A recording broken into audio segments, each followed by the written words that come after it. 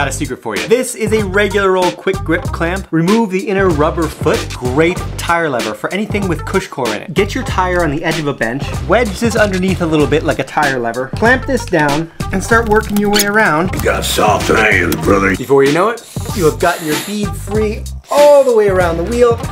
And you'll be ready to get that tire off.